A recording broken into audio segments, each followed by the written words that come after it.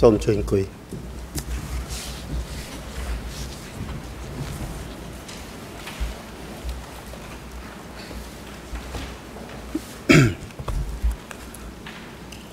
អង្គជំនុំជម្រះសូមប្រកាសបន្តសវនាការ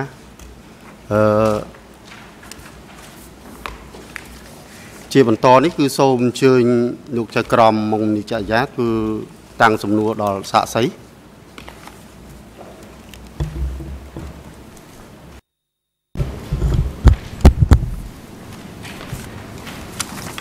បាទខ្ញុំសូមថ្លែងអំណរគុណឯកឧត្តមប្រធាន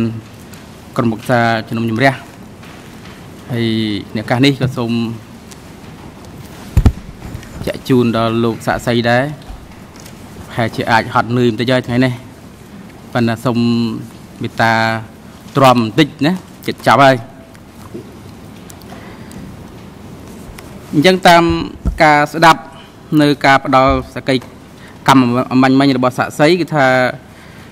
យើងមានបញ្ហាមួយចំនួនដែលហាក់បីដូចជាមិនទាន់មានភាពច្បាស់លាស់អញ្ចឹងសំណួរនៅទីនេះជាសំណួរទី1របស់ខ្ញុំខ្ញុំចង់ឲ្យសាក់សីលោកបានបញ្ជាក់អំបញ្ញឲ្យបានច្បាស់បន្តិចនៅពេលដែលពាក្យថាលោកទៅចូលរួមប្រជុំក៏ដោយក៏ដូចជានៅក្នុងការដែលលោកអនុវត្តការងារប្រចាំថ្ងៃក្នុងនាមជាលេខាឃុំតើតើពាក្យថាខ្មាំងនឹងដែលបានប្រើប្រាស់នៅក្នុងរបបកម្ពុជាប្រជាធិបតេយ្យ ជាពិសេសនៅកន្លែងលោកអនុវត្តផ្ទាល់តើពាក្យថាខ្មាំងនឹងលោកផ្ដល់អត្ថន័យយ៉ាងម៉េចហើយតើមានការបែងចែកហើយមនុស្សប្រភេទណាដែលអាចចាត់ទុកថាជាខ្មាំងបានសូមជួយ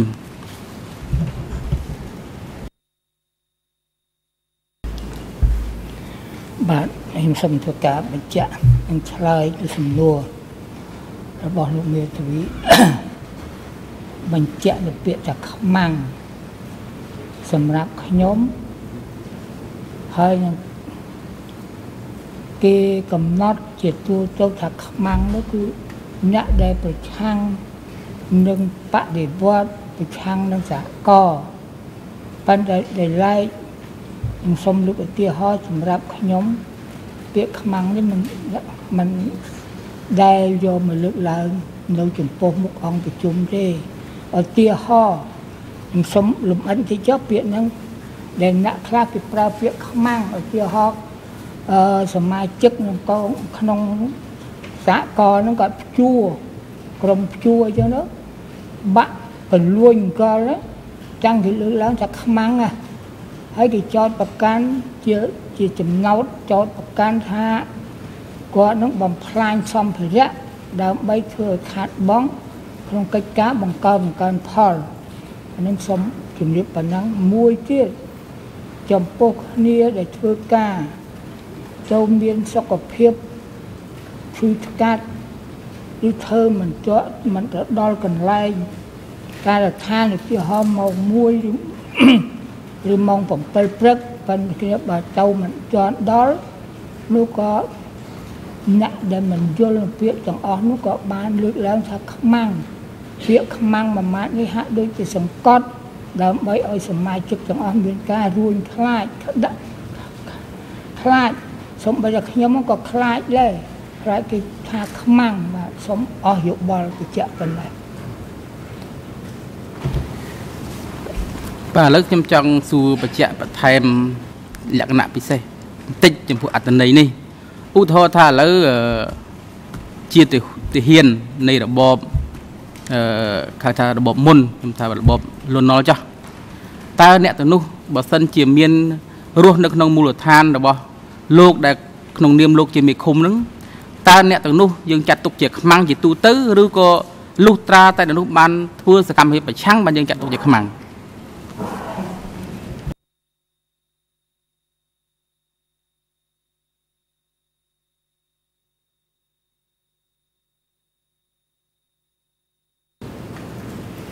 បាទសូមឆ្លើយ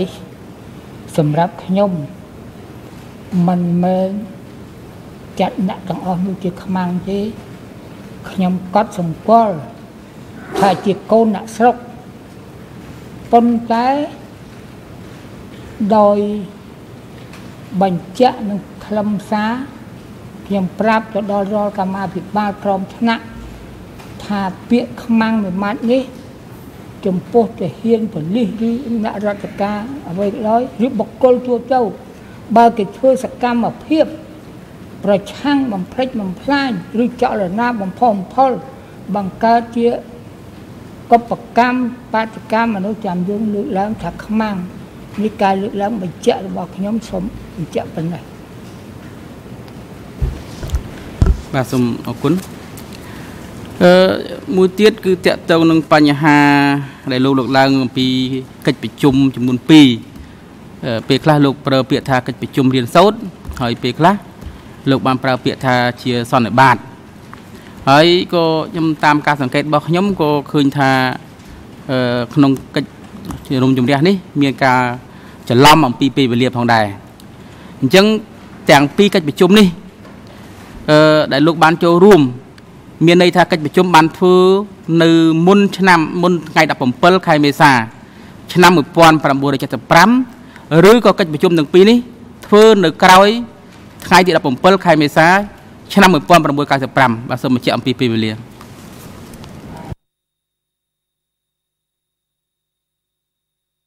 លោកលោកលោកសាក់សីក៏មកឆ្លើយមិនទាន់មានភ្លើង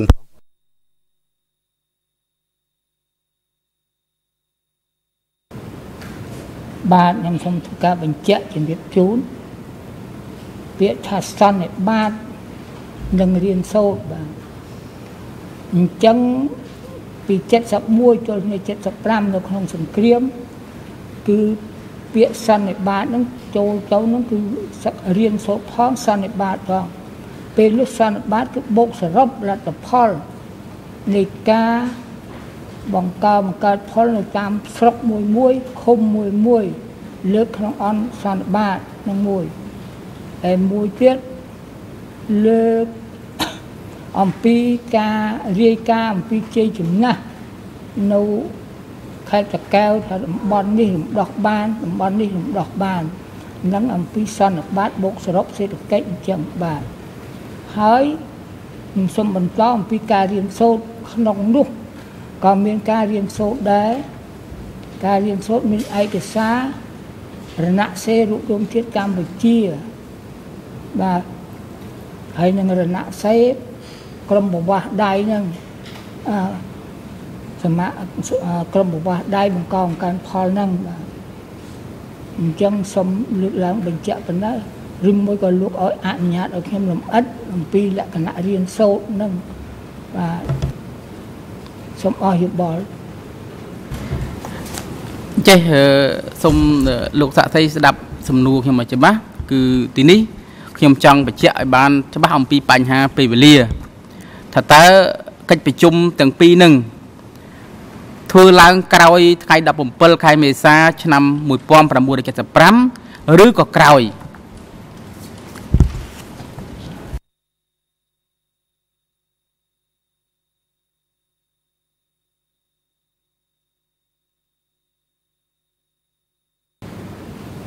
បាទសូមឆ្លើយចំពោះសន្និបាតបុកសរុបគឺធ្វើ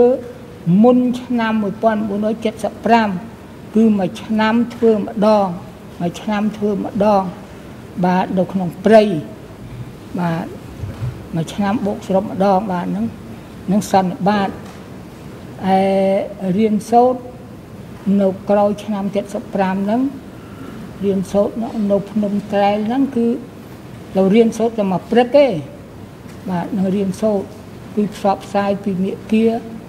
អប់រំបាទប្រជាជនដើម្បីសម្រាលកំហឹងរវាងអ្នកទីក្រុងនិងអ្នកជនបទបាទសូមលើកឡើងបញ្ជាក់ជំរាបអស់យោបល់បាទអញ្ចឹងខ្ញុំសូមបញ្ជាក់សម្ដីរបស់លោកបន្តិចថាដែលលោកចាំអំពីកិច្ចប្រជុំទាំងពីរ កាលពីព្រឹកមិញគឺលោកបានលើកឡើងថាកិច្ចប្រជុំទី1នៅខេត្តតាកែវកិច្ចប្រជុំទី2នៅភ្នំត្រែងអញ្ចឹងបើសិនជាតាមខ្ញុំយល់លោកថាប្រជុំមុនពី71រហូតដល់75ក៏មានដែរប៉ុន្តែដូចជាបន្តបញ្ជាក់បានច្បាស់លាស់ថាតើលោកសម្ដៅលើនៃប្រជុំមួយណាដែលលោកបានលើកឡើងថាលោកចាំប្រជុំតែ2ដងនោះអញ្ចឹងភ្នំត្រែងខ្ញុំយល់យល់ហើយលោកបញ្ជាក់មិនមែនថាព្រមភ្នំប្រជុំនៅភ្នំត្រែងគឺជាប្រជុំរៀនសូត្រ បាទក្រោយឆ្នាំ75ប៉ុនប្រជុំមួយទៀតនៅតកៅតើធ្វើនៅក្នុងឆ្នាំណា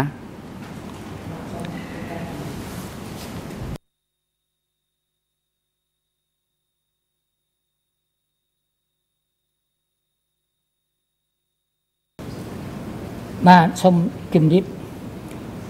ប្រជុំនៅតកែវក្រោយឆ្នាំ1975បាទសូមលោកជ្រាប សូមអស់យោបល់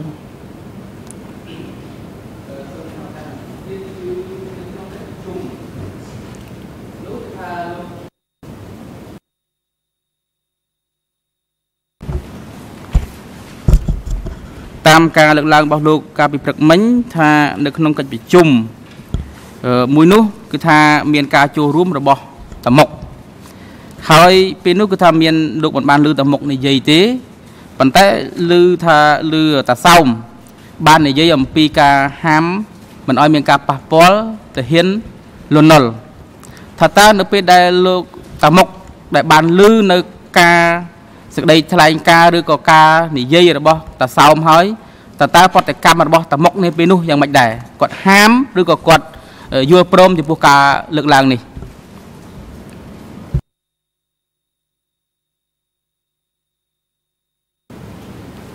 បាទខ្ញុំសូមធ្វើការជម្រាបជូន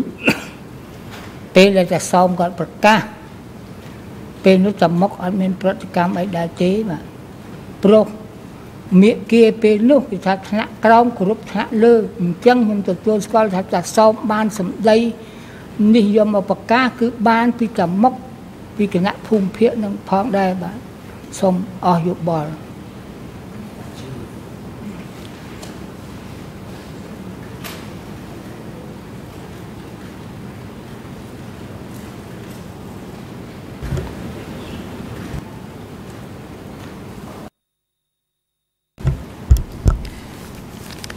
សុំមួយទៀតអឺការពិព្រឹកមិញក៏លោកបានផ្ដល់សក្ខីកម្មដែរថាអំណាចតកតងការវិនិច្ឆ័យជីវិតមនុស្សនឹងគឺថាមានតែថ្នាក់មជ្ឈិមពីឯថ្នាក់ក្រោម ពីខេត្តដល់ឃុំនឹងមិនមានអំណាចទេប៉ុន្តែមានអំណាចមួយធ្វើរបាយការណ៍នៅក្នុងបទពិសោធន៍ជាមេឃុំតើថាធ្លាប់ អឺរាយការណ៍ហ្នឹងតើរបៀបនៃការរាយការណ៍បែបណាសូមផ្ដល់ជាបទពិសោធន៍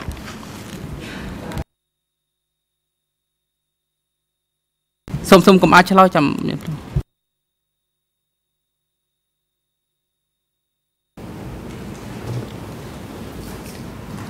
បាទសូមធ្វើការជម្រាបជូនមុននឹងធ្វើរបាយការណ៍ឡើងទៅថ្នាក់ស្រុក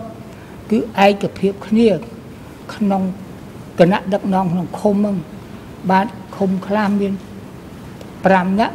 ខ្លះមាន3ប៉ិនសំខាន់គឺឯកភាព3មុនហើយបានអញ្ជើញ2អ្នកទៀតមកចូលរួមបាទក្នុងនោះគឺលេខាគឺប្រធានហ្នឹងហើយអនុលេខានិងសមាជិកអចិន្ត្រៃយ៍បានពិគ្រោះពិភាក្សាតស៊ូមតិថាឥឡូវការងារនៅក្នុងឃុំ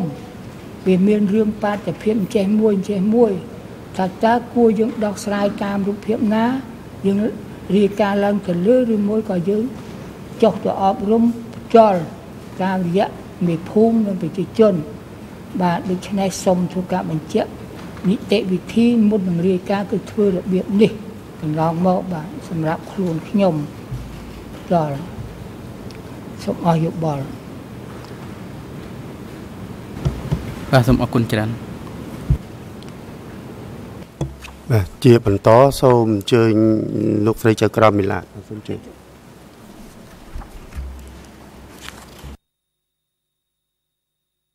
Thank you Mr President ចៅក្រមមេឡាសូមអរគុណអាយដាមប្រធាន Mr Witness uh, can I please um, uh, refer one more time to this uh, meeting at Takeo ខ្ញុំសូមនិយាយចូលនិយាយអំពី Could you possibly recall ទីរួមខេត្តតកែ um, how long after the liberation កិ ច្ចប្រជុំនឹងធ្វើឡើងរយៈពេលប្រហែលជាប៉ុណ្ណាដែរក្រោយថ្ងៃរំដោះបាទសូមជួការជំរាបគឺធ្វើទៅក្នុងរយៈកាលពេលនោះគឺ5ថ្ងៃបាទហើយរូបភាពធំដែរមកគណៈភូមិភាគគឺខេត្តកំពង់ស្ពឺកម្មាបាលកំពង់ស្ពឺហើយនឹងតកែវកពតហើយនឹងតំបន់25 ពេលហ្នឹងទៅរៀនបាទនៅតកែវហ្នឹងសូមអរយោបល់បាទ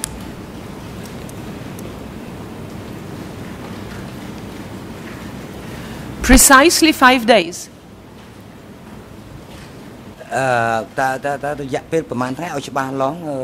Do I hear correctly? លោកខ្ញុំស្ដាប់ឮ3ឬ5ថ្ងៃបាទពីព្រឹកមិញខ្ញុំ បាទអឺនឹកឃើញថារំលឹកខ្ញុំនិយាយច្រឡំ3ថ្ងៃប៉ុន្តែថ្ងៃពេលនេះគឺ5ថ្ងៃបាទ5ថ្ងៃសូមអឺលោក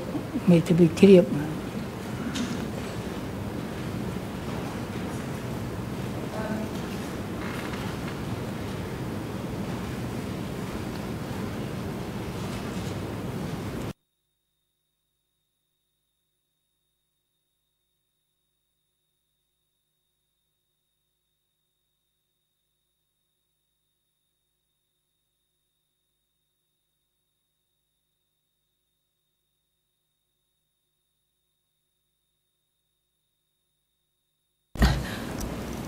How would you explain the necessity of this uh, uh, order that was issued at this meeting or announced at this meeting? តើការបញ្ជា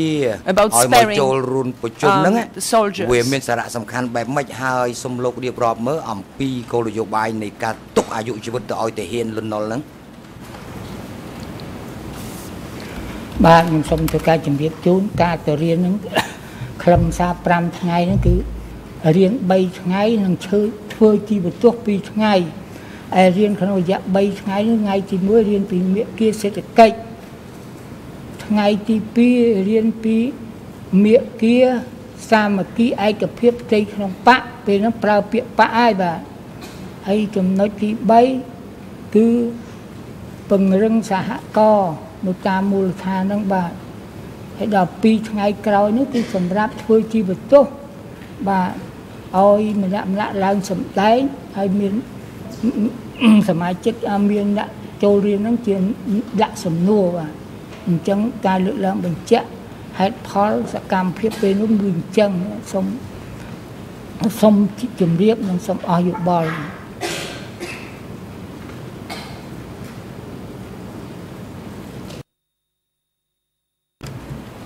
But the uh, representation uh, that was made in this meeting, ក៏ប៉ុន្តែ according to your តា testimony ម today ចម្លើយរបស់លោក and នោះ earlier, និងចម្លើយ um, ពីមុនមុន that របស់លោក uh, គឺ the បញ្ជាក់ London ថាទា soldiers ហានលន់នល់ uh, from Colonel Down were ចាប់ not to be ពីស័ក harmed. 5ចុះមកគឺថាមិន Was ត្រូវ this ប៉ះពាល់ពួក um, គេទេ necessitated by any event តើ that នេះគឺ happened ថា before this meeting? អឺ Or why do វា you, កើត how ឡើង would you អឺ explain នៅមុន there was កិ a ច្ចប្រជុំ reason for នេះ this ឬក៏យ៉ាងណា statement for this ហើយចំពោះលោក directive. វិញសូមលោកបញ្យលអឺមកអង្គជំរុំជម្រះបន្តិចមើលតើការបញ្ជាមិនអោយប៉ះពាល់ដល់ទាហានលន់នល់ពិសា5អឺចុះមកហ្នឹងគឺចង់មានន័យថាម៉េចបាទសូមធ្វើការជម្រាបជូនចម្លើយទី1គឺការណែនាំហ្នឹងគឺនៅលើភ្នំត្រែលហ្នឹងគឺក្រោយឆ្នាំ1475គឺរំដោះទូទាំងប្រទេសហើយបាទអេ ចំណុចទី2ការយល់របស់ខ្ញុំនេះគឺការលើកឡើងហ្នឹងដូចធ្វើការបញ្ជាក់ហើយចំពោះអឺដល់អឺក្នុងនោះគឺដើម្បីរក្សាកម្លាំងជំហរសាមគ្គីនឹងធ្វើឲ្យអ្នកស្រុកប្រកទាហានទាំងអស់នឹងជាកូនអ្នកស្រុកក្នុងឃុំនីមួយៗគឺពិតជាមានអញ្ចឹងការលើកឡើងបញ្ជាក់នឹងខ្ញុំការយល់របស់ខ្ញុំគឺថាធ្វើដើម្បីឲ្យ ប្រជាជននឹងអ្នកនៅមូលដ្ឋាននិងអ្នកដែលទៅចេញពីក្រុងភ្នំពេញមានការស្ងប់ចិត្តរាប់អានគ្នាចាត់ទុក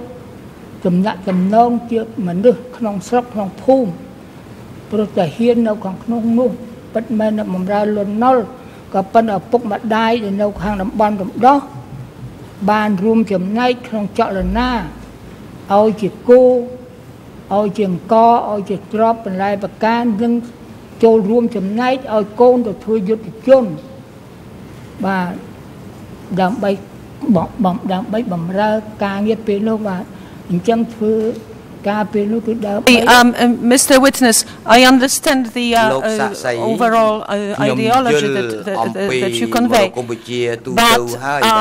was there any practical necessity to issue such order? Was there a threat of, peeping, of people getting killed that prompted this order? Or was there a question asked by the collective who participated in this meeting? We are just wondering what prompted the issuance ជម្រះ of this ចង់ដឹងថា uh, វា directive មាន or មូល order. ហេតុអ្វីដែលនាំឲ្យមានការចេញបញ្ជាបែបហ្នឹងថាថាកុំឲ្យប៉ះពាល់ដល់ទាហានលន់លុបពិសា5ចុះមកហ្នឹង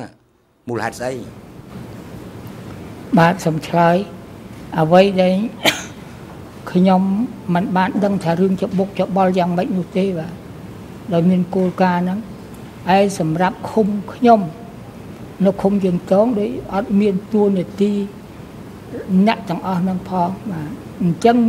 គេទាំងឡាយដែលបានទៅរស់នៅគ្នាបុណ្យស័ក្តិបន្តិចបន្តួចនៅបាទតែក្នុងបាត់បង់នៅកន្លែងណាកន្លែងណាខ្ញុំមិនបានដឹងទេសូមសម្ដែងការស្មោះត្រង់ហើយនឹងការពិតជំរាបអឺលោកពេលនេះអឺឲ្យអស់បាទសូមអស់យោបល់បាទ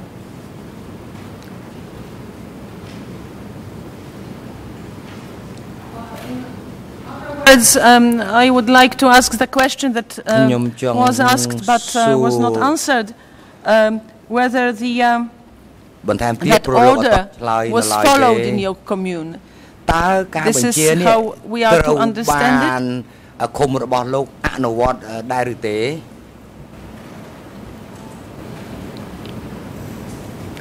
សូមជម្រាបចំពោះឃុំរបស់ខ្ញុំ គឺគ្រាន់តែបានអប់រំជាទ្រឹស្ដី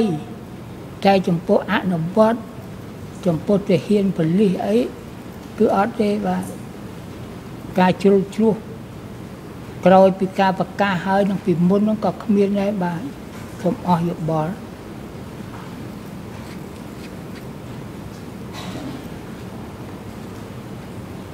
The implementation was not what? Excuse me, I'm asking the ខ្ញុំ translation. សូមសួរម្ដងទៀតតើថាតើសួរអំពីការបកប្រែមិញឬទៅអនុវត្តអ្វីតើទៅចង់និយាយពីការអនុវត្តស្អីអនុវត្តនៅខ្លឹមសារដែលថាបញ្ជូនទាហានប៉ូលីសហ្នឹងបាទអត់ទេបាទដូច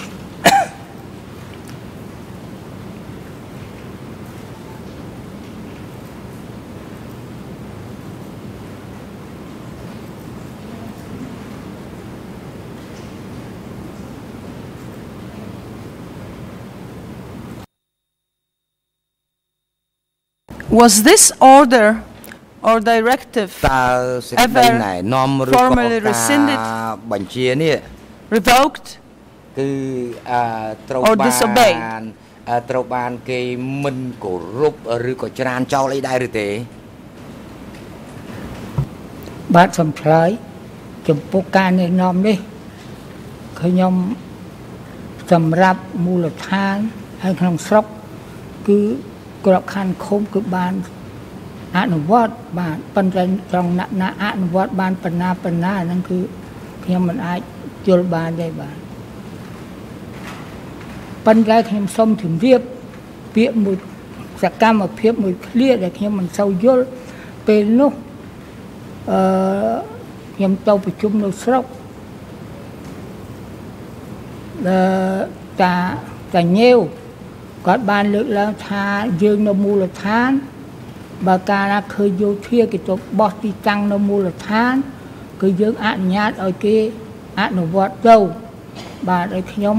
ពាក្យហ្នឹងជានិគេផ្សាយជាទូទៅក្នុងស្រុក105ហ្នឹងតែតែសម្រាប់ឃុំខ្ញុំអត់មានឃើញយោធាទៅទៅអនុវត្តទីនៅកន្លែងហ្នឹងទេបាទ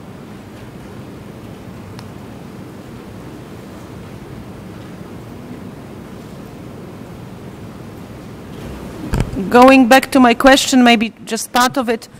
បាទ Did ខ្ញុំ this ត្រឡប់ uh, ទៅ has សំណួរ this ខាងដើម order វិញ ever តើ been ការ changed? បញ្ជានេះឬក៏ការណែនាំនេះធ្លាប់អឺត្រូវបានកែប្រែឬក៏ផ្លាស់ប្ដូរដែរទេសូមទៅការជំរាបការណែនាំនេះអត់មានការកែប្រែទេបាទក្រោយមកពាក្យនេះប៉ុន្តែសុំជំរាបនៅឆ្នាំ77 ចុង77នេះដើម73ក្រែងគេមានមតិណែនាំខាងលើ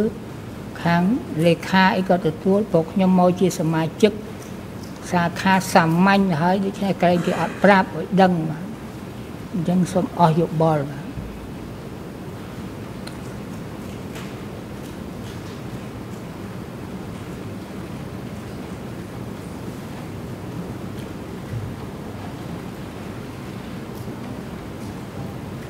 And in general, uh, sketch uh, Ah, w- whatនិយាយ uh, ជា what ទូទៅ this instruction uh, would have been about. តើគឺតើតើតើការណែនាំនេះគឺគេនិយាយអំពីអ្វី You were not aware of details, but from what you know, what was it អឺលោក about? ប្រហែលជាមិនចាំភាពលម្អិតទេប៉ុន្តែតាមដែលលោកបានចាំខ្លះៗតើតើគេនិយាយអំពីអ្វីដែរជាចំពោះសេចក្តីណែនាំនេះ ចំពោះសេចក្តីណែនាំនេះគឺគេការយល់របស់ខ្ញុំគឺគេនិយាយដើម្បីប្រមូលកម្លាំងទាំងអស់ឲ្យរួមរស់នៅក្នុងសង្គមជាតិទាំងមូលបាទព្រោះតាមមកបានបញ្ជាក់ថាយើងនៅបន្តការបង្កើនបង្កើតផលហើយនឹងការពៀទឹកដីយើងតទៅទៀតបាទសូមអស់យោបល់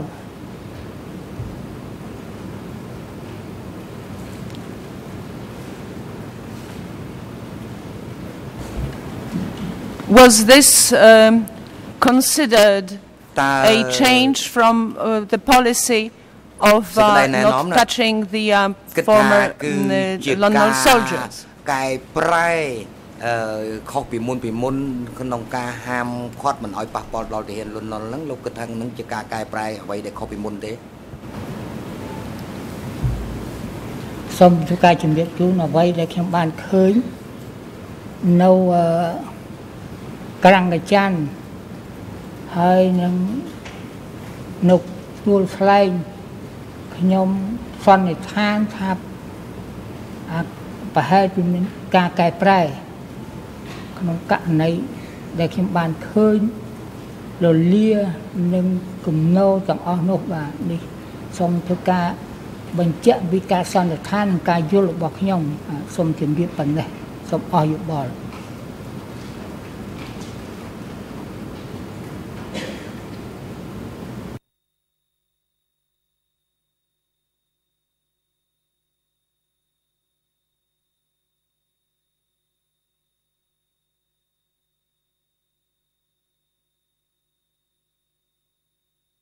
Thank you.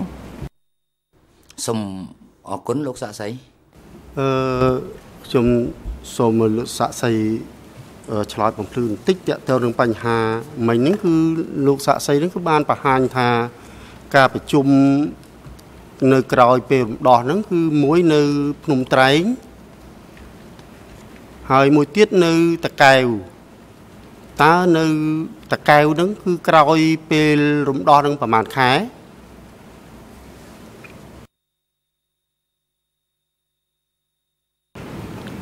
បាទសូមធ្វើការជំរាបលោកចៅក្រមប្រជុំនៅភ្នំភ្នំត្រែលបាទគឺក្រោយពីរំដោះទូទាំងប្រទេសប្រហែល2ខែ2ខែបាទហើយប្រជុំនៅតកែវនោះ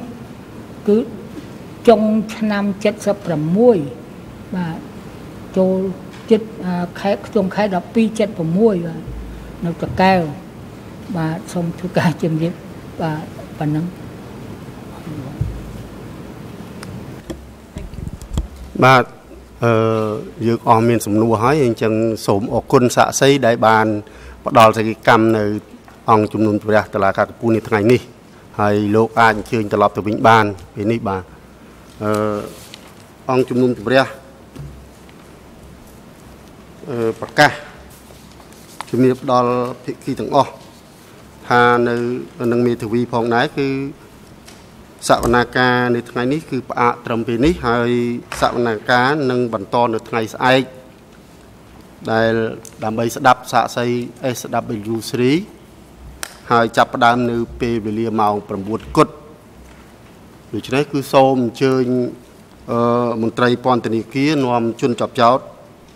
ទៅពន្ធនាគារវិញហើយស្អែក មុនពេលចាប់ដើមសកម្មភាពត្រូវនាំជនចាប់ចោតមកទីនេះដើម្បីធ្វើសកម្មភាពបន្តទៀតបាទបាទឡាការប្រកាសអសកម្មភាពនៅពេលនេះសូមអញ្ជើញក្រុមចូល